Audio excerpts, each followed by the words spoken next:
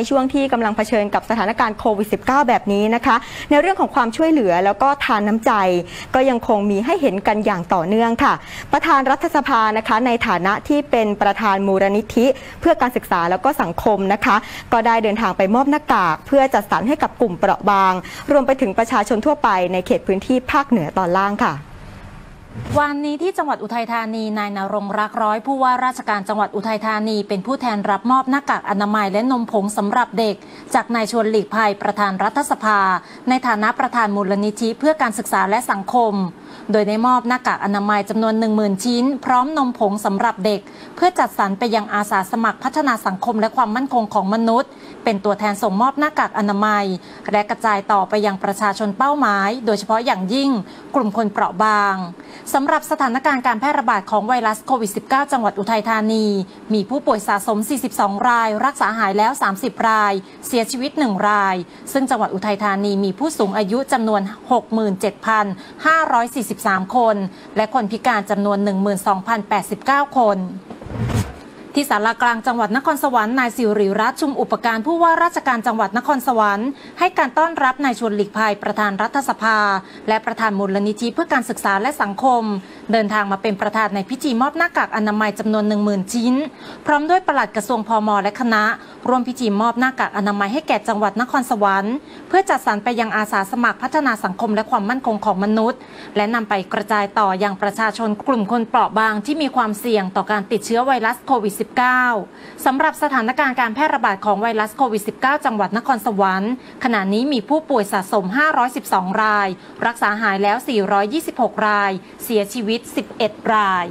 ที่สารกลางจังหวัดสุโขทัยนายชวนหลีกภัยประธานรัฐสภาในฐานะประธานมูลนิธิเพื่อการศึกษาและสังคมพร้อมคณะ ลงพื้นที่จังหวัดสุโขทัยส่งมอบหน้ากากอนามัยจำนวน 10,000 ชิ้นและนมผงเด็ก โดยกระทรวงพัฒนาสังคมและความมั่นคงของมนุษย์ ให้กับนายวิรุณพันเทวีผู้ว่าราชการจังหวัดสุโขทัยเพื่อส่งต่อไปยังอาสาสมัครพัฒนาสังคมและความมั่นคงของมนุษย์ และนำไปแจกจ่ายให้แก่ประชาชนกลุ่มเปราะบาง ทั้งนี้เป็นการช่วยเหลือประชาชนที่ขาดแคลนให้ได้มีหน้ากากอนามัยใช้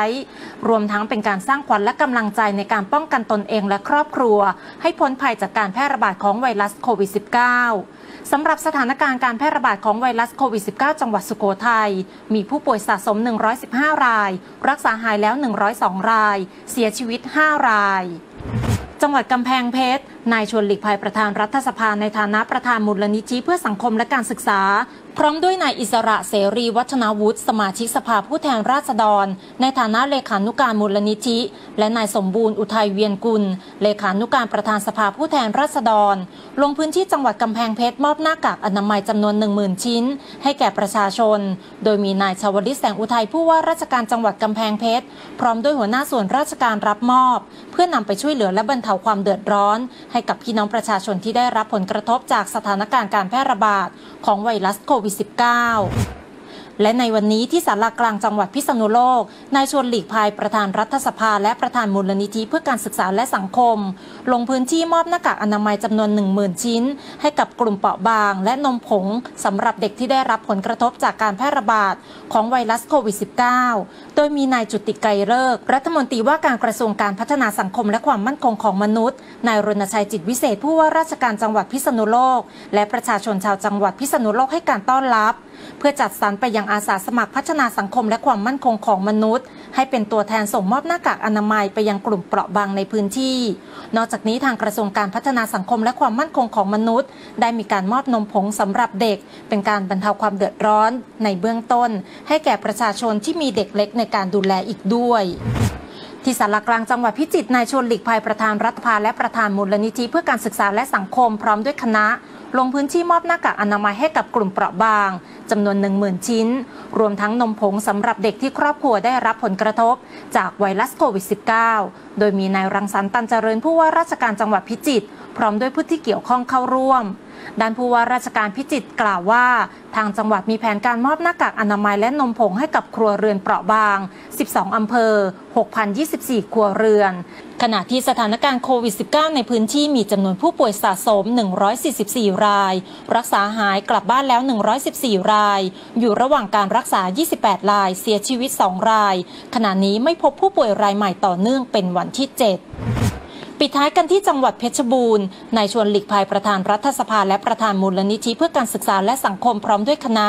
เดินทางมามอบหน้ากากอนามัยจำนวน 10,000 ชิ้น และนมผงสำหรับเด็ก ให้กับพัฒนาสังคมและความมั่นคงของมนุษย์จังหวัดเพชรบูรณ์ เพื่อจัดสรรไปยังกลุ่มเปราะบางและประชาชนทั่วไป